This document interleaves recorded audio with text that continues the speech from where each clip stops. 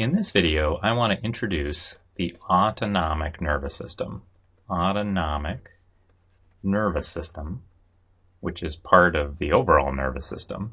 And this is a functional division of the nervous system, not a structural division like the central nervous system and the peripheral nervous system. The autonomic nervous system consists of efferent neurons in the peripheral nervous system that do specific jobs. So these are efferent neurons. And these neurons control three different types of cells. The first are smooth muscle cells, which are in all sorts of structures all over our body, like around our blood vessels. And they control cardiac muscle, the muscle that makes up our heart tissue. So, cardiac muscle.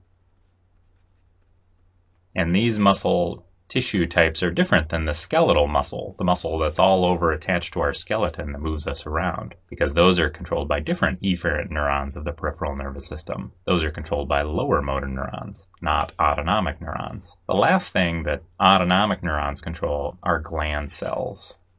Some gland cells are controlled by the autonomic nervous system. Now, the autonomic nervous system is called this because it tends to control all these things without conscious involvement. It doesn't require the involvement of consciousness to control these things. So it's kind of autonomous. It kind of does this stuff on its own without our conscious selves having to be involved for the most part. And we divide the autonomic nervous system into two big subsystems. So let me write two big arrows here. And this part we call the sympathetic nervous system the sympathetic nervous system, which is the first big part of the autonomic nervous system. So I'll just write SNS for short for sympathetic nervous system. And this other big part we call the parasympathetic nervous system. Parasympathetic.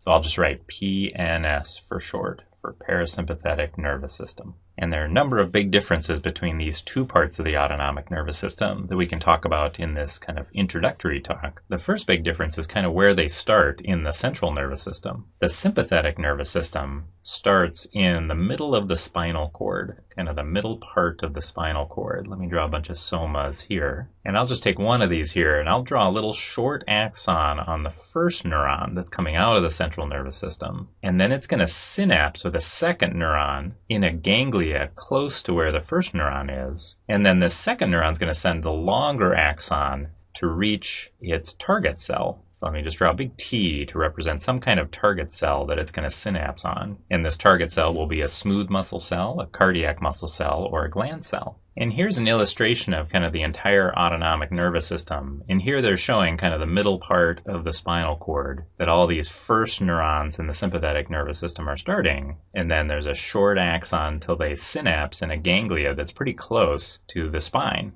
Here's a set of ganglia, and here are a few other ganglia, but they all tend to be pretty close to the spine. This set of ganglia are actually often linked together in kind of a chain, which we actually call the sympathetic chain. And here's a, just a different illustration of the same thing. So here it's showing in the middle part of the spinal cord that first axon's coming out, synapsing in a ganglia close to the spine, with a lot of these ganglia linked together in a chain. And then the second neuron sending a longer axon out to synapse on the target cell in whatever tissue you're talking about that contains smooth muscle cells, cardiac muscle cells, or gland cells. Now, the parasympathetic nervous system has its first neurons start in a different place in the central nervous system. They start either up here in the brainstem, or they start way down here at the bottom of the spinal cord. And then their first neuron tends to send a long axon out to synapse with the second neuron in a ganglion at a distance from the first neuron. And then that second neuron usually sends out a short axon to synapse on its target cell. I'll just write a big T here for target cell. And here this illustration is showing this as well, where it's showing the first neurons of the parasympathetic nervous system either up here in the brainstem or down here at the bottom of the spinal cord. And then it's showing these long axons on the first neuron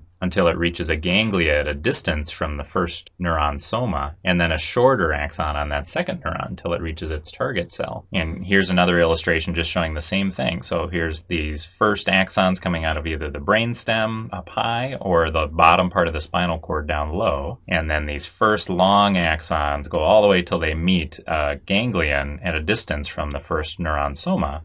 And then the second neuron sends a shorter axon to the target cell. So the similarities in the structure of the different parts of the autonomic nervous system are that they both usually consist of a chain of two neurons connecting the central nervous system to the target cell. But the differences are where those first neurons start and whether there's a short first axon and a long second axon or a long first axon and a short second axon. But more importantly than these structural differences between the different parts of the autonomic nervous system the functional differences. And these neurons do so many different things in so many tissues of the body that it's a little hard to talk about them in general. But there are these great phrases that can, can kind of help think through lots of the changes that these different parts of the autonomic nervous system do. And for the sympathetic nervous system, the phrase is fight or flight. Fight or flight that the sympathetic nervous system, when it's activated, will cause lots of changes in the body that'll prepare to either fight or run away, which can kind of help you deal with threatening or dangerous situations. So I'll, I'll write that in red here for the sympathetic nervous system, whereas the parasympathetic nervous system, I'll write in a nice cool green here because it its phrase is rest and digest.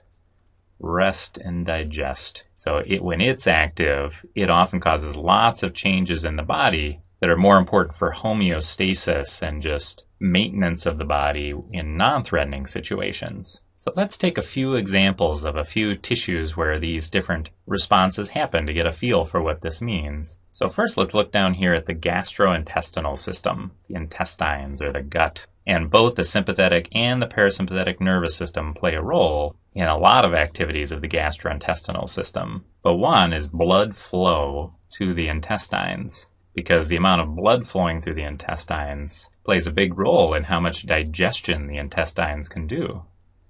Blood flow to intestines. And it also plays a big role in how much blood is available for other parts of the body. So when the sympathetic nervous system is activated in some kind of fight or flight situation, blood flow to the intestines decreases. And that blood is actually diverted away from the intestines, often to skeletal muscle. So all our muscles all over our body that can help us move to deal with dangerous situations, the blood is going to leave the intestines and go to that. Because during a dangerous situation is not the time to be digesting food, it's the time to be moving. So the blood's flow decreases to the intestines and is diverted to skeletal muscle. Whereas most of the time, when you're in a non-threatening situation and, and it's time to rest and digest, the peripheral nervous system is activated and that increases blood flow to the intestines. That'll divert blood away from skeletal muscle because now you're not in a fight or flight situation and you want to rest and digest. So it's going to bring the blood flow back to the intestines to increase your ability to digest food. If we look at the heart, both the sympathetic and parasympathetic nervous systems innervate the heart, and we look at the heart output, kind of how much blood the heart is pumping out over any particular unit of time, heart output of blood, when the sympathetic nervous system is activated, the heart output increases. The heart pumps harder and pumps faster and pushes more blood out so that things like skeletal muscle can get more blood flow. In addition to diverting blood flow from the intestines to skeletal muscle, the heart's just going to push more out so there's more available for the skeletal muscle. When the parasympathetic nervous system is activated, the heart output goes down the heart is pumping less hard and it's beating less often. It's just working less because you don't need as much blood flow to the muscles for movement. So you go to kind of a baseline level that's sufficient for activities that involve resting and digesting. So these examples of blood flow involve the activity of smooth muscle because smooth muscle is around our blood vessels and determines where the blood is going to flow to, and cardiac muscle because the cardiac muscle makes up the heart and then if we think about gland cells, there's a bunch of different glands that the autonomic nervous system controls, and they tend to be activated kind of differently at different times. So one type of gland that's activated during fight or flight situations when the sympathetic nervous system is active are sweat glands out here in the skin. And the sweat glands are activated to secrete sweat, which helps cool us down, which increases our ability to move faster and farther if we're able to stay cool. Whereas some glands that are activated by the parasympathetic nervous system include things like the salivary glands that produce saliva in our mouth. Because saliva is very useful for digestion, and it's part of a number of activities that happen that help us digest food. So I find these phrases helpful when I'm thinking about what effects the autonomic nervous system will have on different tissues of the body during different situations. Because, like in all of these examples, most of the things that the sympathetic nervous system does when it's activated increase the body's ability to turn stored energy into movement to deal with dangerous situations, like moving blood from the intestines to skeletal muscle and increasing the amount of blood being pumped around from the heart and increasing sweat production from sweat glands to keep us cool while we're moving to deal with a dangerous situation. Whereas all of these things that the parasympathetic nervous system is doing make sense in non threatening situations where we're actually trying to conserve and store energy, like diverting blood flow away from skeletal muscle to the intestines to increase digestion, decreasing heart cardiac output to conserve energy, and increasing saliva production from the salivary glands to help with digestion as well.